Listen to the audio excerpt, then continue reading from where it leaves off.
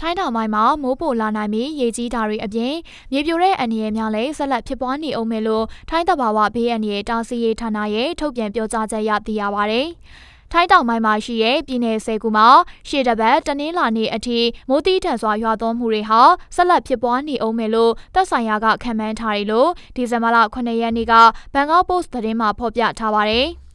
ဒီဇင်ဘာလ9ရက်နေ့ကထိုင်းတောင်ပိုင်းမှာစက်တွန်းပြည်နယ်မှာအပါအခြားပြည်နယ်၉ခုမှာရေလွှမ်းမှုမှုတွေဆက်လက်ဖြစ်ပွားနေရလို့လည်းသတင်းမှာဖော်ပြထားပါတယ်။အဲ့လိုမိုးပိုလာနိုင်ပြီးရေကြီးမှုတွေဆက်လက်ဖြစ်ပွားနေအောင်မယ်လို့တတိပေးချက်ထုတ်ပြန်ပေးထားတဲ့ထိုင်းတောင်ပိုင်းရှိပြည်နယ်များမှာချန်ဖွန်၊နကွန်တီရီတမရက်၊နရာတီဝတ်၊ပတ်တာနီ၊ပတ်တာလန်၊စက်တွန်း၊ဆောင်းခလာ၊စူရတ်တာနီ တရန်နဲ့ရာလာပြည်နယ်များဖြစ်တယ်လို့ထိုင်းတဘာဝဘေးအန္တရာယ်တားဆီးကာကွယ်ရေးဌာနမှညွှန်ကြားရေးမှူးချုပ်ချေယာပိုထရီထီဆက်ကပြောကြားခဲ့ပါတယ်။